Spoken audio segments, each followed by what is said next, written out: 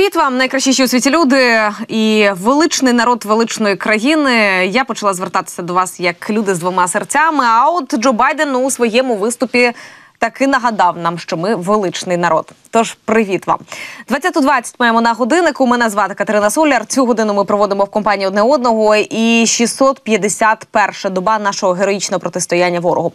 І про цю 651-шу добу, і про 650-ту, і про 649-ту добу згадував у своїй промові до конгресу президент Сполучених Штатів Джо Байден.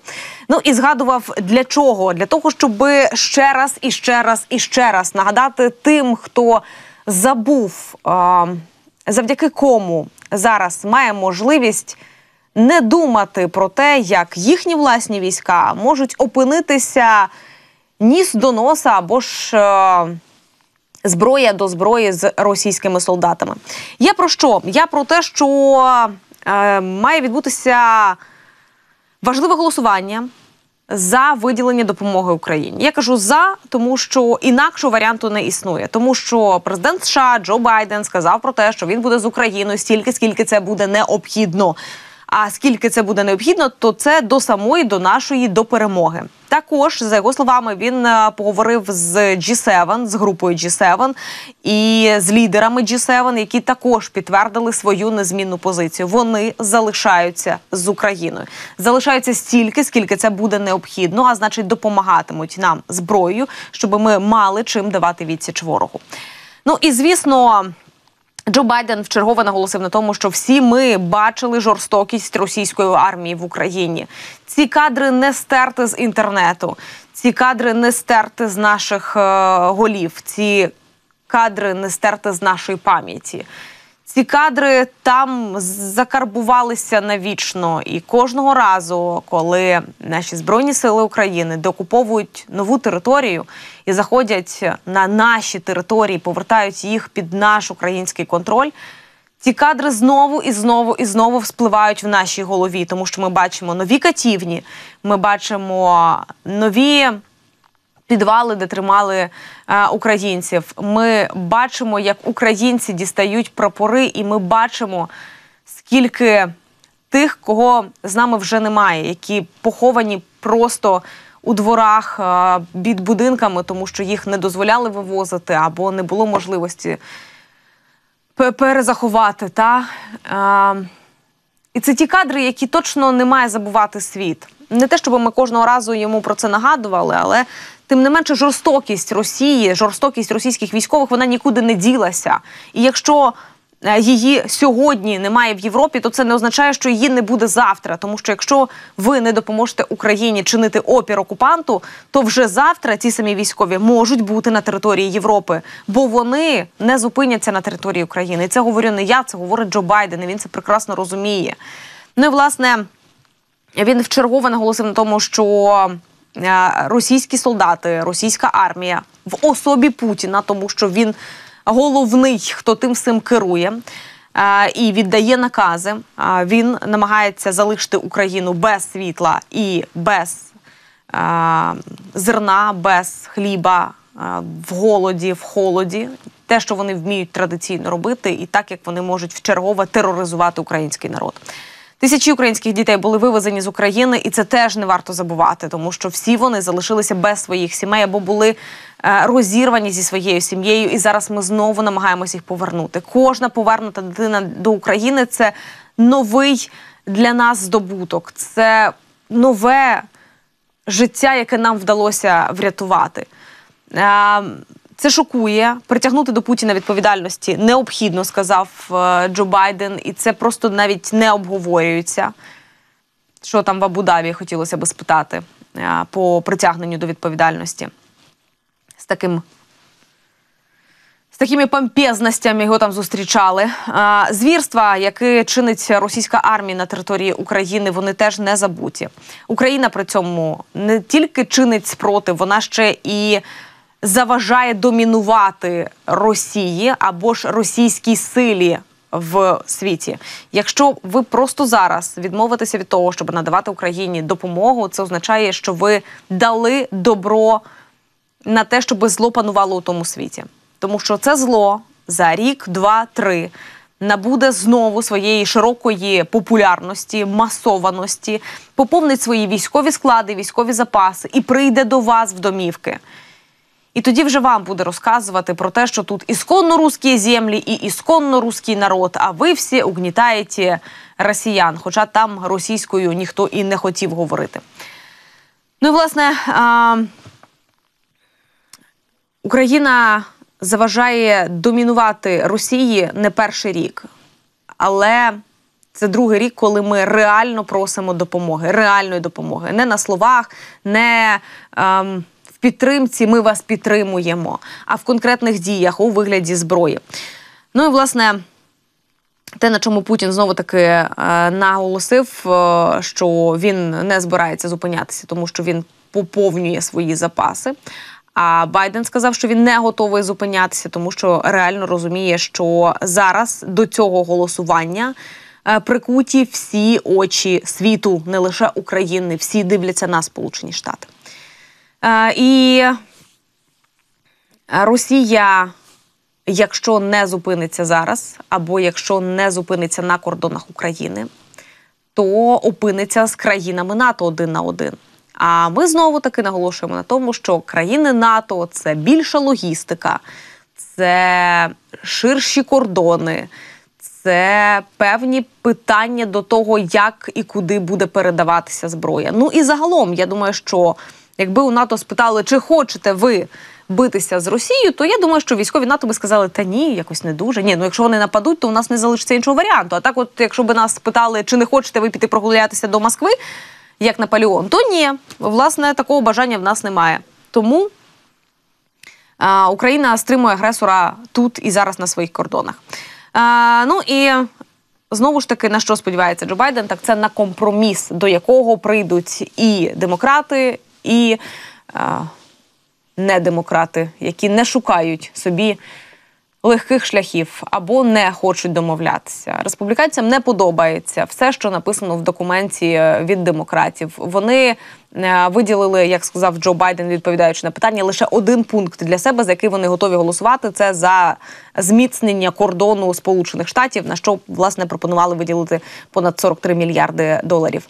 А що стосується Ізраїлю і України, то е, республіканців це не стосується. Ну і власне, ті, хто не хоче домовлятися, ви ж розумієте, домовлятися і не будуть. Е, тому а, Сьогодні ми чекаємо на ще одне голосування. А поки Сполучені Штати оголосили про нову військову допомогу Україні у розмірі 175 мільйонів доларів. Про це повідомив державний секретар Сполучених Штатів і. Також чекаємо подробиць, що увійде в цей самий пакет допомоги, чого нам очікувати, або ж відповідно нам не скажуть подробиць. Ми не почуємо. І власне нас цей варіант теж влаштує. Головне, щоб наше військове керівництво і наші збройні сили України знали, що на що їм розраховувати і що їм чекати.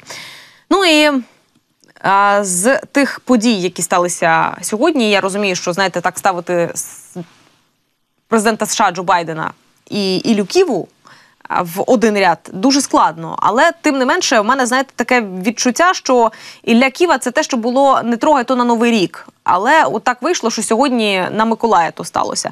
Ну і на День Збройних сил України. А, Неочікувано для нас, принаймні, прилетіла новина про те, що екс-депутат Верховної Ради України, а насправді зрадник України Ілля Кива, наукивець, Героически погиб на території Росії. Ну як героїчки, скончався на місці, як е, пишуть пропагандисти.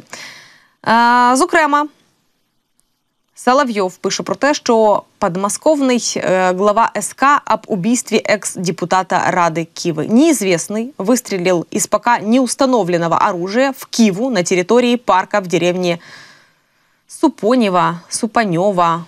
Неважливо, я думаю. Э, Кива скончался на месте. Дело об убийстве ведут наиболее опытные следователи, следователи і криміналісти. Я думаю, що якщо ведуть найболее опытные, то точно нічого не знайдуть.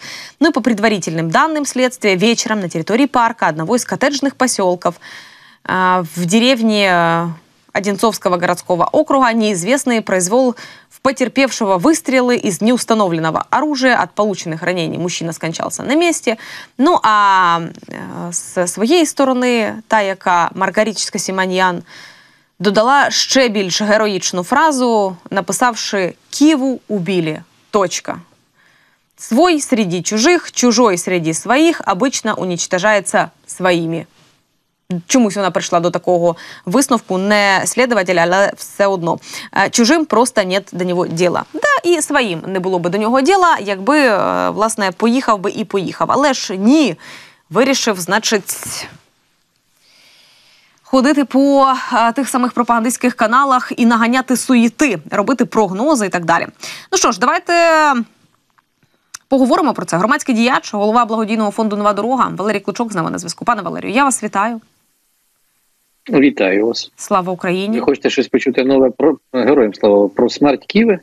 А, Просто, ну, я, я можу сказав, запропонувати про вам варіанти. Давайте поговоримо або про Джо Байдена, Сполучені Штати, виступ е, перед конгресом, або для конгресу, або ж поговоримо про Ілю Ківу, якщо хочете.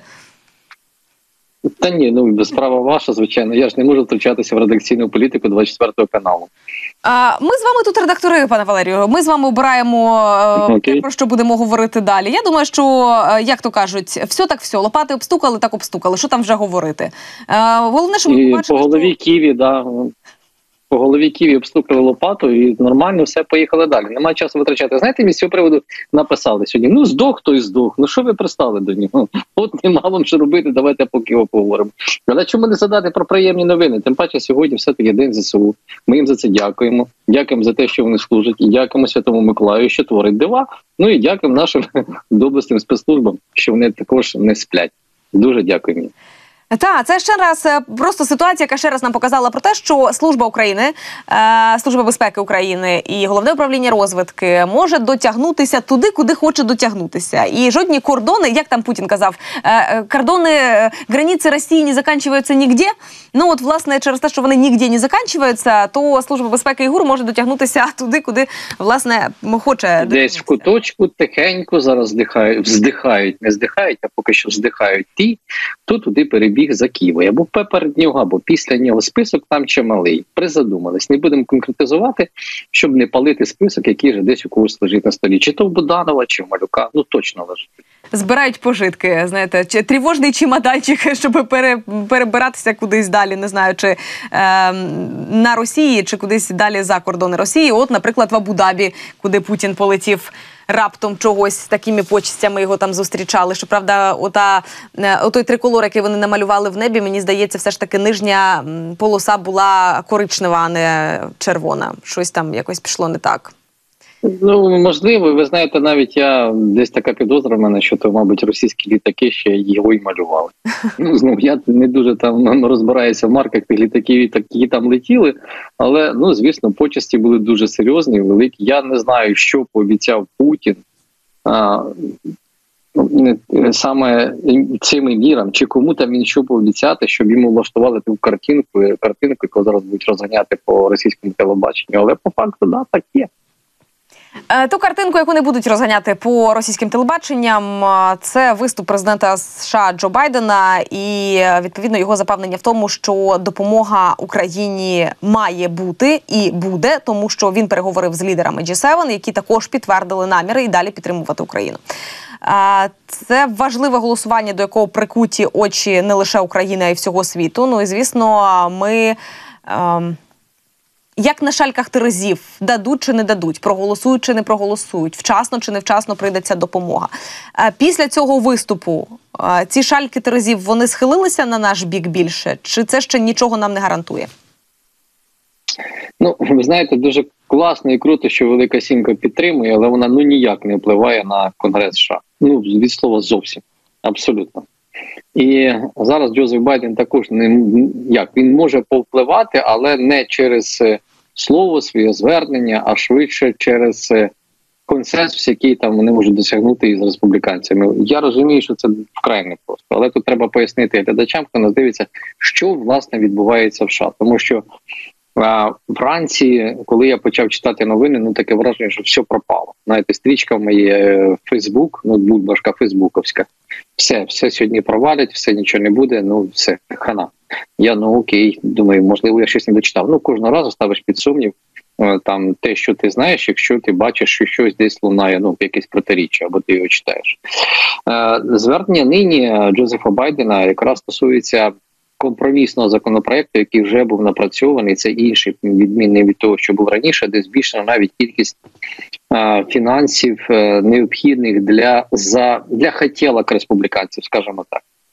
І зараз там закінчились дебати. Дебати стосовно цього законопроекту, до яких мав долучитися Зеленський, але ймовірно, через там гарячу дискусію.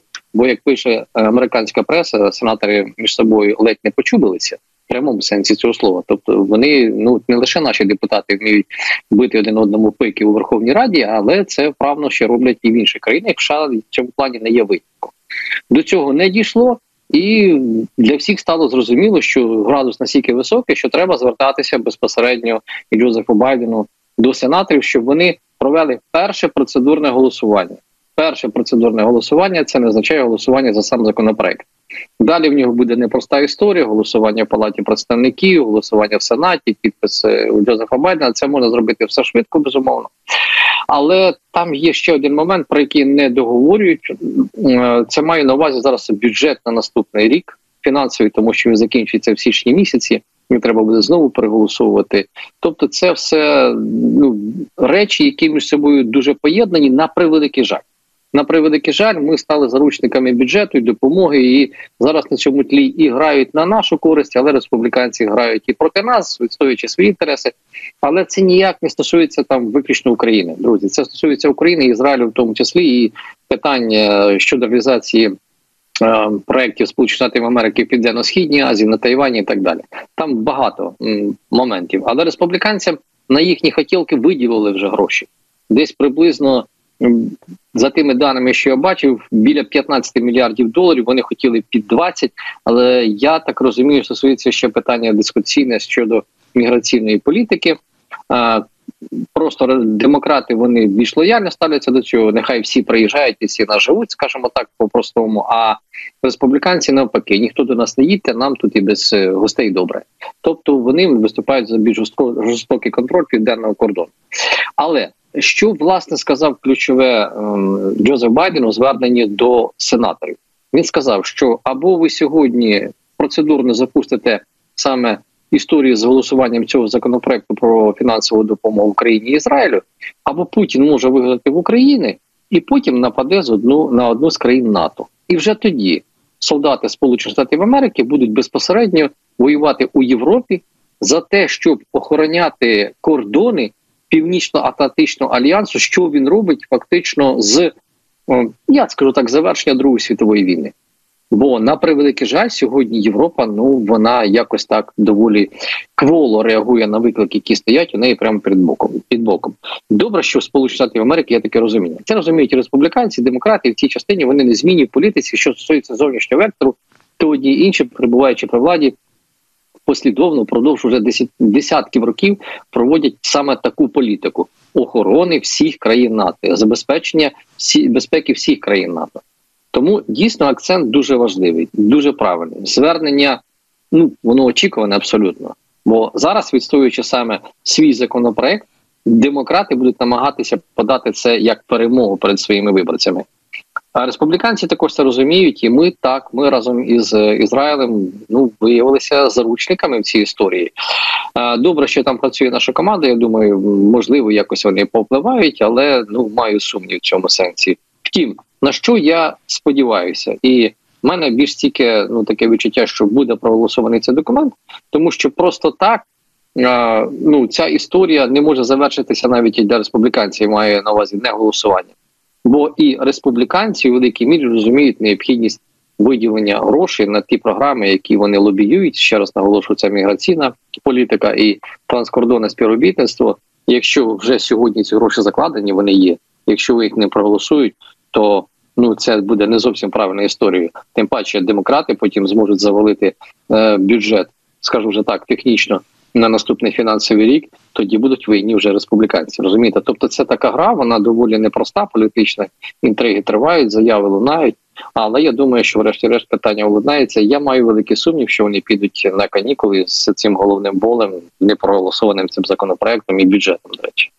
Як ви думаєте, наскільки вони реально сприймають інформацію про те, що там рік, два, три Росія відновить свої сили і може напасти на одну із країн НАТО? Е, чи не здається їм це знаєте чимось казковим вигаданим? Чи дійсно вони сприймають це як дійсність? Ну, ви знаєте, якщо брати з року в рік е, кількість військової допомоги, точніше, військовий бюджет Сполучених Штатів Америки, ну якщо так відмотати років 3-4 назад, то він наскільки мені не зраджує пам'ять, був там не менше 600 мільярдів по року. Ну 600, не 60, а 600. Я якраз наву, чому 60, в Україні 60 на рік, а вони для себе 600 виділяють. І це е, та військова місія, яку вони виконують на близькому сході, в Європі і в самих Сполучених Штатах Америки. Тому вони чудово розуміють загрозу. Не випадково вони зверталися завжди до Європейського союзу, аби в Європі переглянули політику щодо виділення достатньої кількості фінансів на обороноздатність. Питання це рухається дуже погано, і вони чудово розуміють, що якщо вони це не зроблять, за них цього ніхто не зробить. А відтак, і що стосується, до прикладу, санкційної політики. В цій частині ведеться постійна, перманентна, місцями краще, місцями гірша робота у, з партнерами маю на увазі Великобританією і Європейським Союзом. США постійно намагаються переконати в тому, що санкційна політика має бути більше. Е, проблема заключається в тому, друзі, що е, на сьогодні Росія має змогу заробляти багато грошей. Ну от направду продаючи вуглеводні, в тому числі до Європейського союзу, здійснюючи торгівлю через треті країни. Європейський союз це знає, але намагається маніпулювати часто статистикою. Ну докрема останній звіт, який робив Борель на початку листопада, коли там я читаєш, він у відсотках.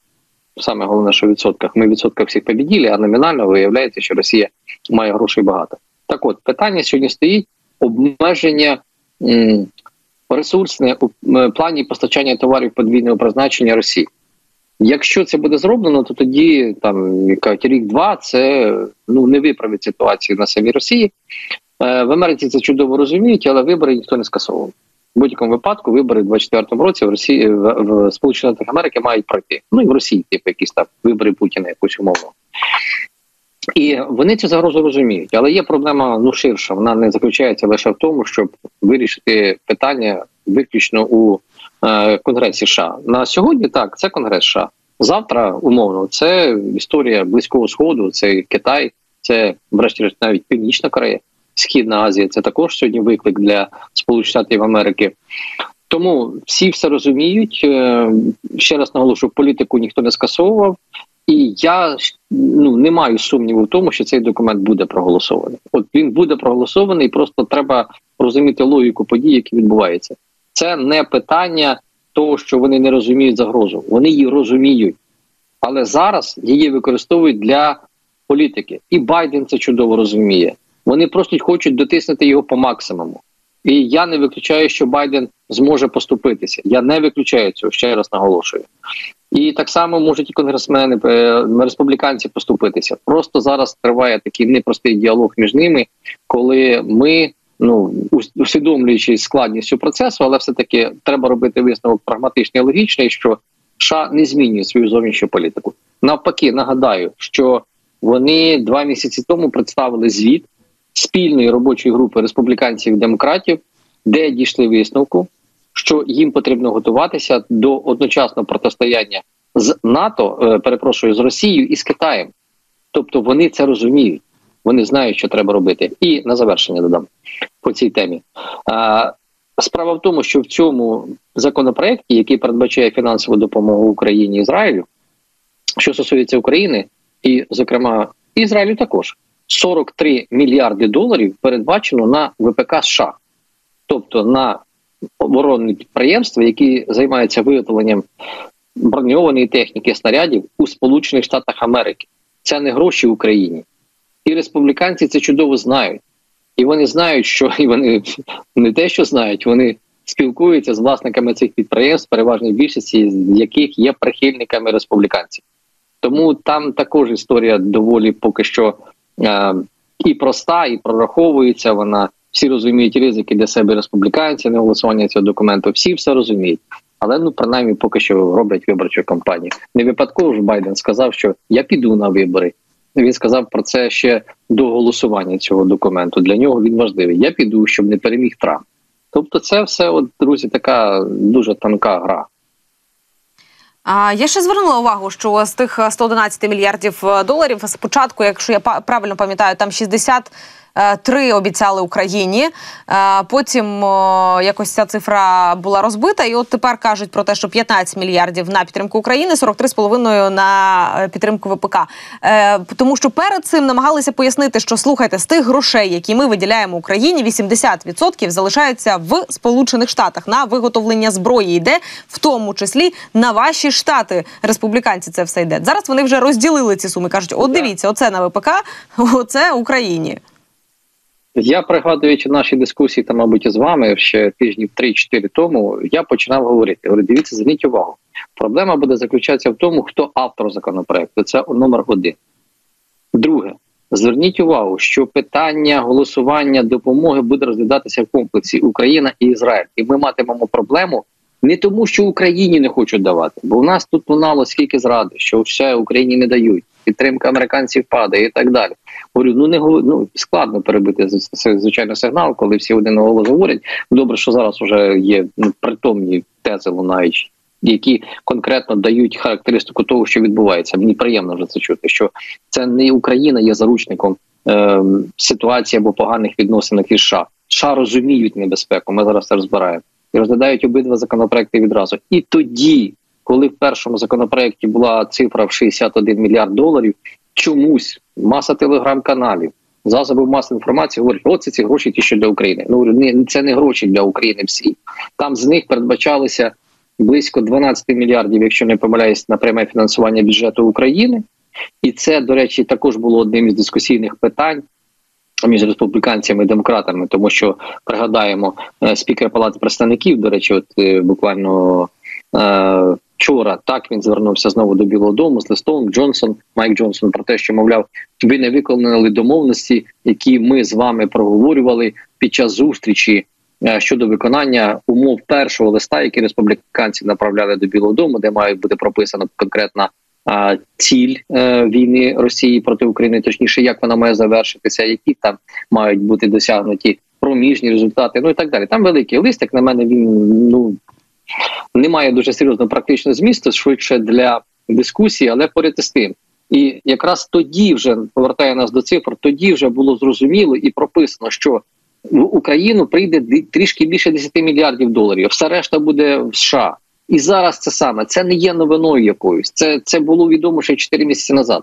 Нам головне треба це правильно пояснювати, щоб глядачі, слухачі в Україні розуміли, Бо важливо нам для політичного контексту. До прикладу, сьогодні я зранку читаю, все пропало, Зеленський не буде виступати перед сенаторами по захищеній лінії. Говорю, та чекайте, а говорю, чого не буде виступати?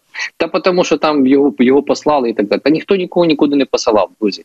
Врешті-решт зрозуміло, що треба займати помірковану позицію, коли треба виступати, коли не треба виступати. Якби була готовність сенаторів слухати Зеленського, він би виступив. Тому було була було анонсовано сьогодні. Вони ну не, вважають, що Зеленський має виступати перед ним. Всім все зрозуміло, прописані цифри. Але виступ Зеленського можуть розцінити там погано. До прикладу, як тискне зараз же ж і виступ Байдена республіканці будуть розцінювати як як тиск. Чому Байден виступив за кілька годин до голосування? Тому що ну це його останній аргумент е, щодо до цього першого процедурного голосування. Звісно, може бути і друге, і третє, да процедурне голосування. Можуть переглядати законопроект, можуть готувати новий. Я цього також не виключаю. Але це все складний процес, у який відбувається в Конгресі Сполучених Штатів Америки. Така вона демократія, вона складна, вона непроста. Але як казали класики, ну кращого ніхто не придумав. Я вже говорила про це в попередній годині з Сергієм Грабським. Ми говорили з військовим експертом. І я кажу: от коли виступав Джо Байден, у мене було відчуття, що виступає президент Зеленський, тому що він говорив тими самими словами, якими зазвичай звертаємося ми. Так, абсолютно так. Я з вами погоджуюся. Бо е, в цьому плані е, лінія поведінкова і Джозефа Байдена і Зеленського вони однакові. Я для себе відзначив цю історію ще під час візиту е, Зеленського до Нью-Йорка на генасамблею ООН, а потім до Вашингтона. От виступи на генасамблеї ООН, вони дуже перегукувалися із Байденом. Це означає, що. Врешті-решт є нормальна, ну не те, що врешті-решт, ну направду так, врешті-решт досягнута нормальна єдність і розуміння розуміння позицій е, української влади і Білого Дому. Ну як на мене, це іде це ідеальна ситуація, просто ідеальна. І те, що, до сьогодні е, Зеленський, ну скажу так, у свою особисту думку, навіть не виступав перед сенаторами, я вважаю це навіть краще, тому що е, це, по перше, могли б розцінити як до прикладу нашу прихильність до демократів. Там виключно так і от дивіться, ми говорили словами там Джозефа Байдена. Зараз е, Зеленський не говорить. А перегукування тес ну поставило під сумнів би республіканцям е, республіканцями ухвалити рішення щодо голосувати на підтримку. Таке застереження може бути. А нам, попри те, е, треба враховувати, що або прораховувати як варіант, що вибори в 24-му році може закінчитися не обов'язково перемогою демократії. Ми ж завжди говоримо про те, що ми одинаковій мірі е, співпрацюємо і з республіканцями, і з демократами.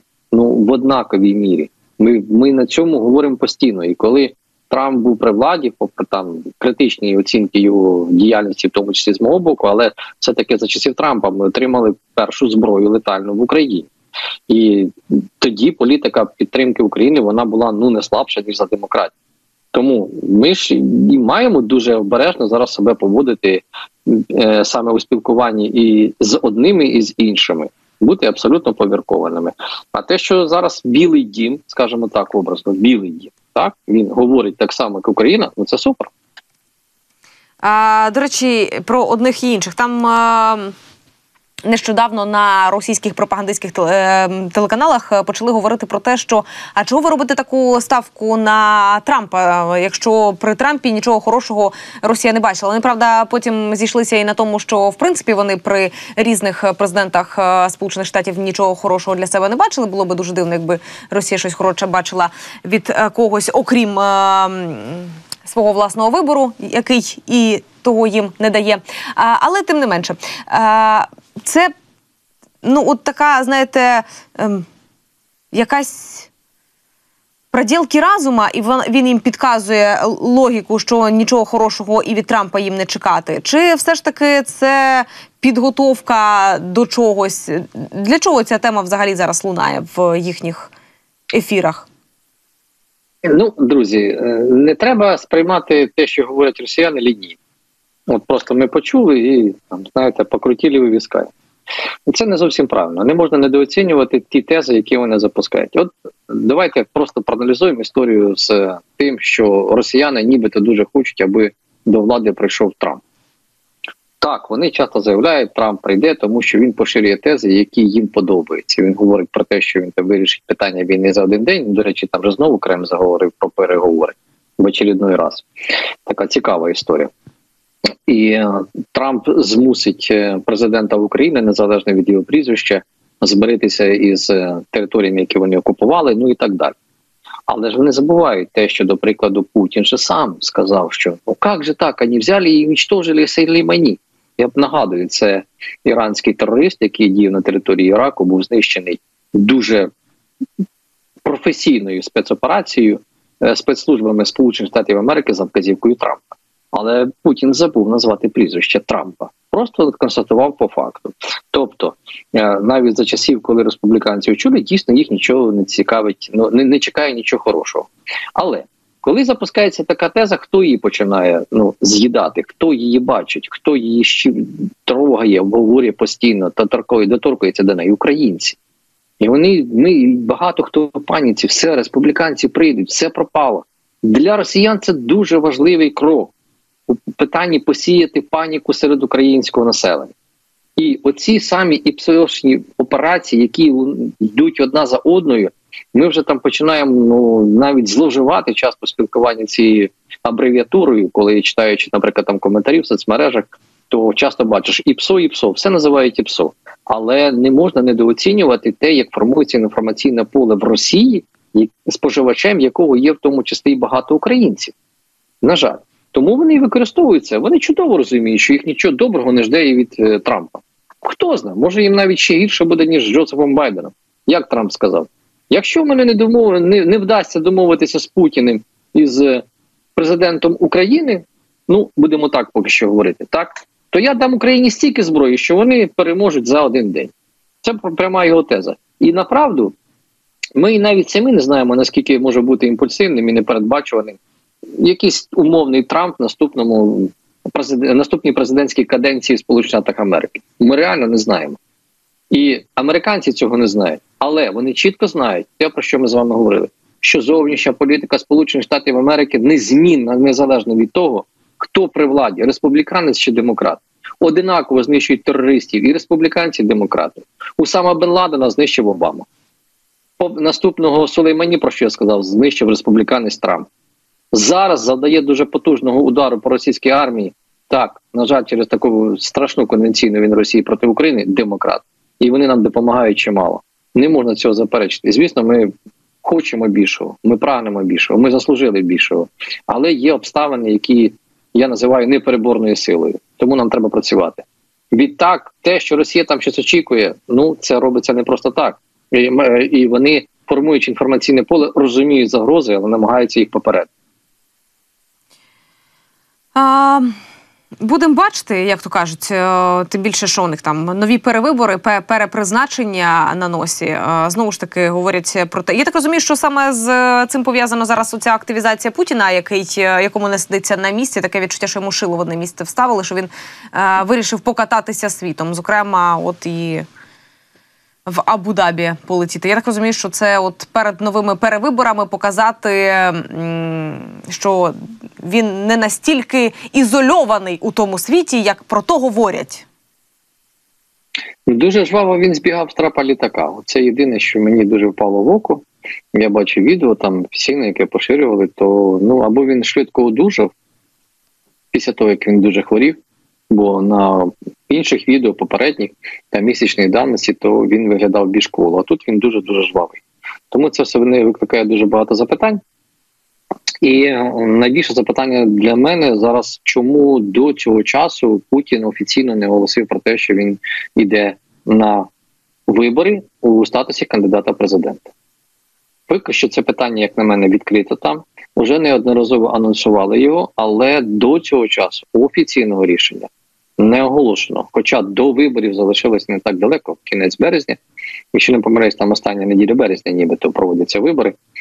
І рахуйте, тут три місяці виборчу кампанію, звісно, що Путіну можна не проводити, бо це будуть вибори Путіна, як то були колись вибори Лукашенка у 2020 році. Е, єдине, що там на Росії вже точно не буде протестів ніяких, тому що репресивна машина працює на повну катушку. Але перед тим ситуація доволі цікава. А тому саме і проявляють активність зараз е, кремлівські чиновники свого лідера, аби мати у розпорядженні позитивні історії для можливого висування Путіна на посаду президента. Е, найстрашніша історія для Росії на Росії зараз ну для всього світу, не тільки для України. Я думаю, розумію ці спецслужби. Це формування потужного, е, безпринципного е, е, кремлівського пропутінського апарату. Тобто, фактично, не просто Путін один буде керувати і керує Росією, а він це робить разом із зі своєю командою. Якщо гіпотетично допустити, от до прикладу, Путін не йде на посаду президента, гіпотетично, а очолює Росію хтось інший, але ті самі чиновники залишаються в апараті і працюють. Герасимов, Шойгу, е, Патрушев і так далі. Можна назвати будь-кого із сьогоднішніх найвищих посадовців, які в моєму розумінні і в розумінні багатьох можуть виконувати ті ж самі функції, що і про Путіна, але і навіть без нього. І це дуже серйозний виклик сьогодні для заходу. А Кремль це моделює дуже чітко. Він працює над цим, е, намагається створити відповідне інформаційне поле іззовні, що мовляв, все добре, команда є, вона працює. Ні Путіним єдиним. Так він носі їздить, там десь там представляє ми можемо довго зберігати стабільність, і це їхній козир на сьогоднішній день, тому що вони показують, що вони є якимись там партнерами на роки, не на день, не на два. Тобто, ми можемо це робити. Ми можемо так і отак робити. Тому треба слідкувати за тими подіями, які будуть там, маю на увазі внутрішньополітичні на Росії. Е, вони можуть роздатися за різними сценаріями. Поки що такий сценарій. Будемо стежити, що нам ще залишається. Пане Валерію, дякую вам за коментарі, за те, що долучилися до ефіру, і до наступних зустрічей. Щастить, тримаємося. Валерій Кличок, громадський діяч і голова благодійного фонду Нова дорога, був з нами на зв'язку цієї години. Дякую вам, друзі, що ці дві години провели в моїй компанії. Традиційно наостанок кажу вам слава Україні, слава українським героям і смерть тим клятим ворогам. Побачимося з вами. Бережіть себе і па-па.